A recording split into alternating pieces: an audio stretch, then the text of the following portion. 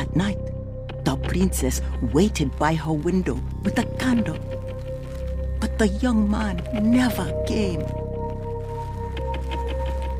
She wept for fear that the dangers of the world had hurt her beloved.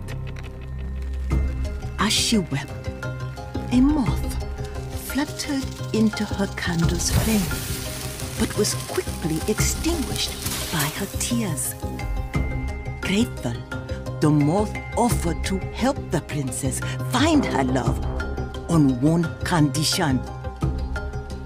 Bemoaning its cursed lot, the moth confessed it was always drawn to that which would do him harm. It wanted to be reborn as her child, to be free of this curse. The princess swore a blood oath that the moth would be reborn of her, and so they set off into the moonlit night.